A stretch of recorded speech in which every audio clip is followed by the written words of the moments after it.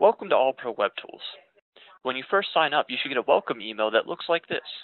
This email has all the information you need to log into your All Pro Web Tools console and get started. If you can't find this email, go into your inbox and search for the All Pro Web Tools login information, and you should be able to find it. Notice this email has a link to where I need to log in and has my username and password. Down below, it also has a link to our YouTube channel with tutorial videos. But right now, I'm going to click on this control panel link so I can log into my console.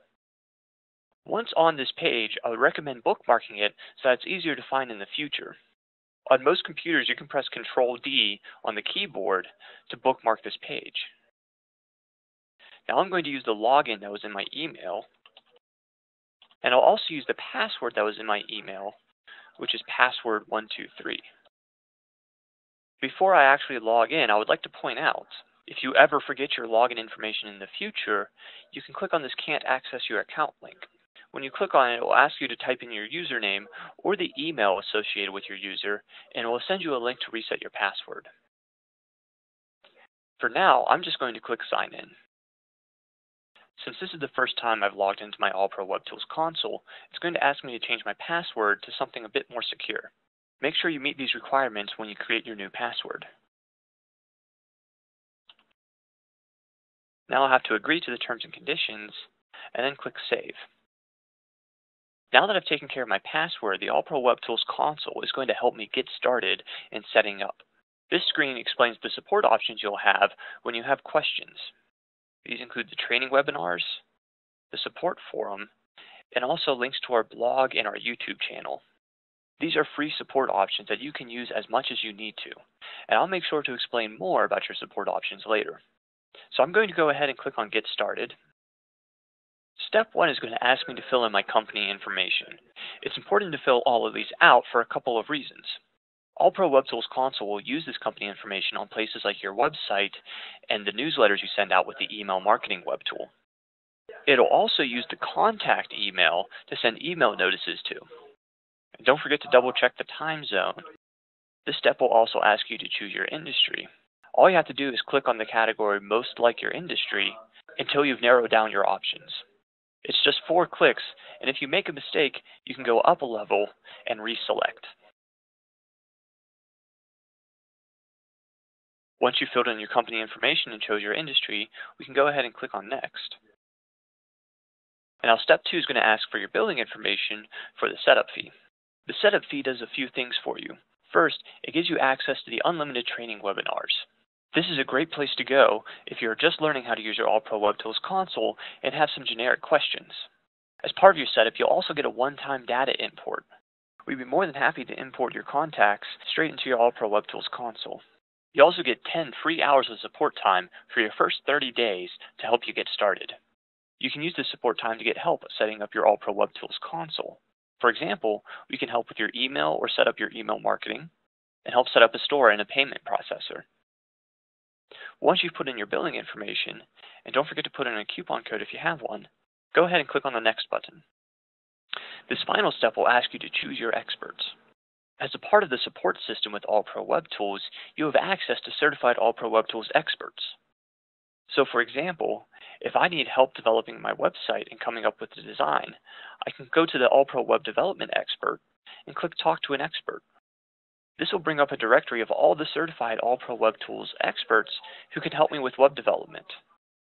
I can look at their profile and use the contact information to get in touch with them, or click on Hire this expert.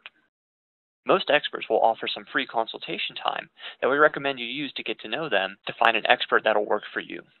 Once you've decided what experts you want to work with, go ahead and click on Start using your AllPro Web Tools. Now that I've finished getting started, I can finally see my console. This is the dashboard screen, basically your home screen of your console, where you can see all of the information that is happening. Once I start using the console and set up user accounts for my employees to use the console, this workflow timeline will fill with all the information about what is being done in my company. You may notice there are a lot of menu options. There are several options on the side here, and there are several options on the top menu here. One of the most important menu options is this support button towards the top right. If I click on it, it will open the Support Center sidebar. The first thing to notice are the related videos. Wherever you are in the All-Pro Web Tools console, you can press the support button to see videos related to what you're looking at right now. If you find that the videos do not answer your question, you can go to the Help and Suggestions forum, where you can search through previous questions, or go into a forum and post your own question. Or you can click on the Live Support options.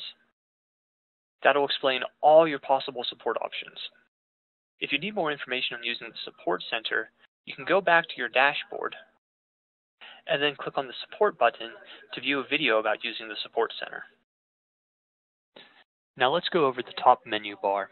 If I click on this first eyeball button, it opens up my website so I can see what it looks like immediately. Right now, this is just the basic website that comes with every new All-Pro Web Tools console. This next button with the people shows the Productivity Center. This will be useful when you have employees clocking in, and you can see who's clocked in and for how long they have been clocked in. This next button with the speech bubbles allows you to use the instant chat. You can talk back and forth with any other employee who is logged in by using this chat feature. This next triangle button is your notifications.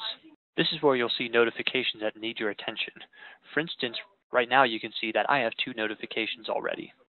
This next button with the three bars is my tasks. As part of the base, you get the All-Pro Web Tools tasking system. Anytime I get new tasks in my inbox, they will appear here so that I can see them. This next plus button is a quick shortcut if you need to add anything. For instance, you can add a blog post, contact, order, product, task, or web page very quickly from this button. This next button, the little magnifying glass, can be used to search your All-Pro console. This can be used to search through contacts, orders, tasks, and most anything in the All-Pro Web Tools. This next button is my username, but if I click on the drop-down, I'll see a few more options. This profile will take me to my user settings where I can update my information. This time card is included in the basic All-Pro Web Tools and will allow your users to clock in and out of the company to track time. I can also access my task inbox this way. Passwords will get me to the Password Manager, where I can add passwords and even assign a specific level so that only certain users can see certain passwords. And Sales will allow me to see my pipeline, which is a list of all the contacts that have me as an account manager. Now let's go over some of the menu options on the left.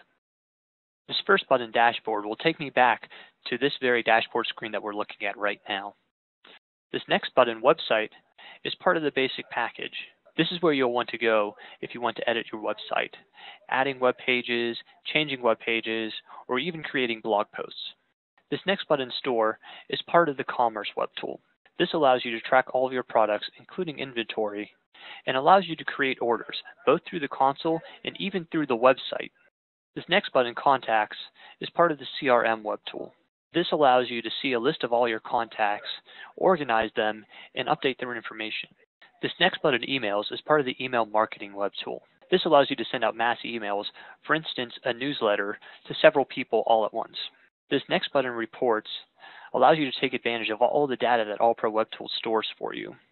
Here you can view, download, and print various reports based around your sales, your websites, and your employees' productivity.